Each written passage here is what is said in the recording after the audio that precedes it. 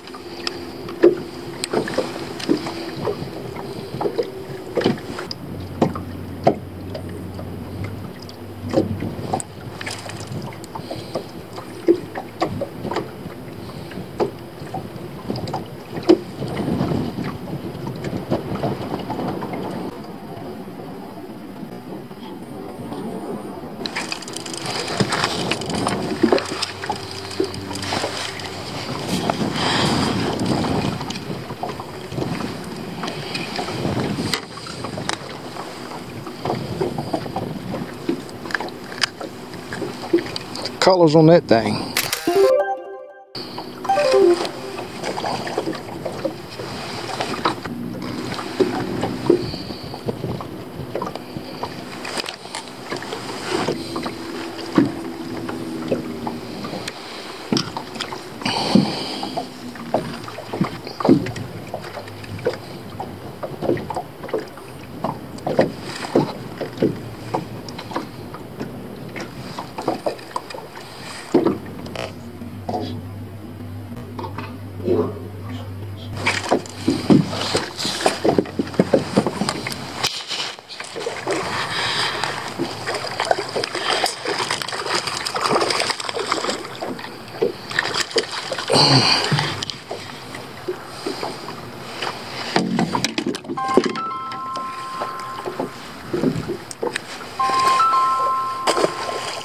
What's happening? What's going on? We ain't still up out there? Yeah, it is a little bit. They, they, they biting for you? Yeah, I found a pile. Oh, okay, okay. they slow, but they bite, but it's glass over here. It's all. It's like glass. Okay, I want to do some more scanning before I leave though. Oh, yeah, no doubt. No Yeah. Hey, I'll tell you what though, man. These daggone fish, they hit different. They hit, man. Yeah, they they it's like they come up and get it and try to run down with it. Mm. Yeah, they run with it. They, hit it like they hit it and run somewhere. Exactly.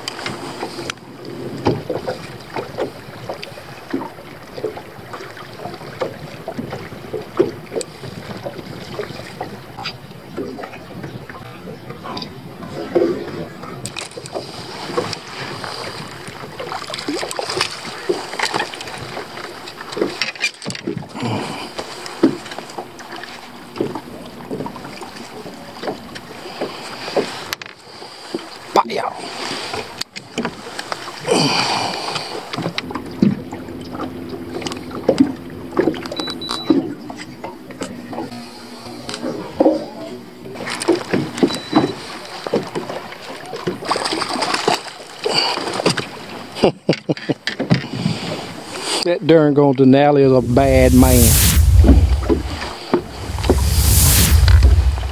Slang him in the boat there, boy.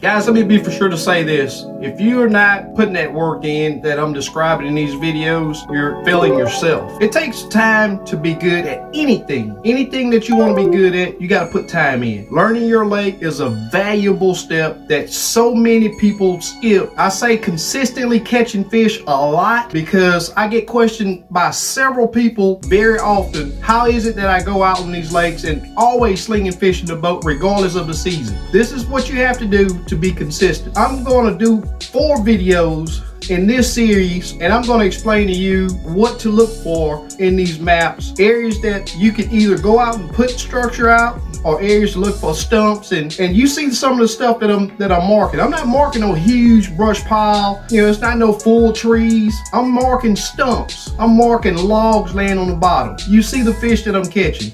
Yes up until this point in this series, I've struggled. But putting that work in and not giving up, never giving up is the key to being successful. This goes for the bank anglers also. Move around. That's what it's all about. These fish, sometimes in different areas of the lake, there are fish that are active and then there are fish that are not active. I was marking fish on all of the, the uh, structure that I've marked up until this point, and they just were not biting. Very first time on this lake, and here it is, full limit, of nice quality fish. These are the things that you have to do to be consistently on crappie. For the final video, I'm gonna go over a lake and show you what I'm looking for as far as contours, the areas of the lake that I feel are very hot right now. So the next video will have more information on getting you in the right spot on your lake. This works on every lake not just the lake that I'm fishing. For you guys that haven't subscribed yet, be sure to click that subscribe button as that helps this channel grow. It gives me more opportunities to bring you this type of information. I'd really appreciate a big old thumbs up. That way your vote will count on this video being a quality video and it helps YouTube refer it to more people. So a thumbs up, I'd really appreciate it. And for those of you that have subscribed, hey, a big old thank you to you. Welcome to the family. Thanks. More coming. Thanks, guys.